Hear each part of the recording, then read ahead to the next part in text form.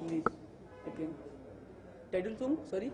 Title sounds very interesting, Mr. Mother. Mr. Mother. Yes. या title mister mother very interesting था जो मैंने feel किया वो मैंने कर दिया अब आप लोग क्या फील करते हैं वो देख के बताइए जब ये कॉन्सेप्ट आपके पास आया था कि ये किरदार है आपका हाँ। मदर बनना है आपको तब आपके माइंड में क्या क्या ऑब्वियसली अगर किसी को किसी लड़के को बोलेगे कि आपको प्रेग्नेंट होना है तो दिमाग तो घूमेगा ही लेकिन फिर भी मेरी टीम का सपोर्ट था पेरेंट्स का सपोर्ट था मेरे मेरी को स्टार उन्होंने काफ़ी सपोर्ट किया मुझे। और हाँ कि मेल प्रेगनेंसी सुनने में अजीब लगता है और करने में उससे भी ज़्यादा अजीब लगेगा लेकिन फिर भी कोशिश की करने की। काफ़ी दिक्कतें आती है जब तक फीमेल प्रेगनेंट होती है। हाँ हाँ। एक्चुअली मैं काफ़ी हॉस्पिटल्स का सर्वे किया था मैंने और काफ़ी प्रेगनेंट वुमेन से मिला था उस टाइम पे। और वो जो उनका जो चलने का स्टाइल होता है एक बच्चे को पेट में लेके काफ़ी ज़्यादा मुश्किल होता है।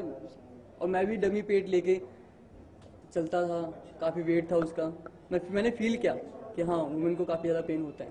लगता है कि लगा कि ऑडियंस कैच कर पाएगी? हाँ बिल्कुल कर पाएगी। कैसे कर पाएगी? कैसे कर पाएगी? अमूमन हमारे इंडियन कॉन्सेप्ट में ऐसा है कि बस महिला ही पेट से होती है। नहीं कि वैसे कहीं पे नहीं होता ऐसा। वो हाँ 2007 का एक केस था लेकिन मेरे ख्याल से वो शायद कोई फीमेल थी जो मेल हुई थी लेकिन मेल प्रेग्नेंट नहीं हुआ था। film, आप लीड कर रहे हैं लेकिन क्या क्या देखने को मिलेगा ऑडियंस को? जब मैं मिस्टर मदर की बात करता हूँ या मैं आपके किरदार की बात करता हूँ कितने शेड होंगे? मेरा करेक्टर मैं काफ़ी ज़्यादा फ़िल्म में ड्रग्स लेता हूँ प्रोस्टिट्यूशन में डूबा हुआ हूँ। फिर एक औरत की बात मेरे दिल पर लग जाती है कि मैं कभी कोई मर्द किसी औरत का पेन नहीं फील कर सकता। बस उसी चीज़ जो बात दिल पे लगती है बस उसी चीज़ को दिल से लगा के मैं प्रेग्नेंट होने की कोशिश करता हूँ जानने की कोशिश करता हूँ कि एक्चुअली वुमेन का पेन क्या होता है। एक डॉक्टर स्टोरी आई कहानी आई। तब क्या एक्चुअली ये जो मैंने मूवी का टाइटल सुना मिस्टर मदर तो मुझे लगा it's very unique kind of title तो मुझे इसमें वर्क करना चाहिए. That's why as a lead lead की मैं गर्लफ्रेंड हूँ एक्चुअली एट दैट टाइम वो तो जब आप देखेंगे मूवी तो आपको श्योरली पता चल जाएगा। हम्म, इसमें मेरा कैरेक्टर बहुत ही मैं पॉजिटिव अपने बॉयफ्रेंड को लेके और उसे बहुत लव करती हूँ।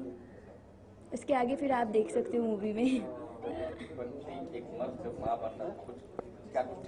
उसको एक्चुअली इस मूवी में मैं सुसाइड कर लेती हूँ तो I am not available at that time okay sorry music हाँ हाँ जी मैंने एक रोमांटिक सॉन्ग किया हुआ है इसमें। अपने बॉयफ्रेंड के साथ ऑब्वियसली किया है तो रोमांटिक जैसे अदर कपल्स करते हैं उससे थोड़ा डिफरेंस होगा। तो फ़िल्म को बहुत सपोर्ट करने हैं उनके बारे में?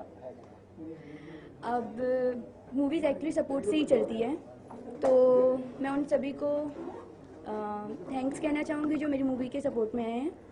And thanks to all thank you mister mother क्या यस इस फ़िल्म के बारे में इस फ़िल्म के बारे में मतलब यू नो ये मुझे लगता है अभी तक इस टाइप के फिल्म्स अभी तक आया नहीं हुआ इंडस्ट्री में।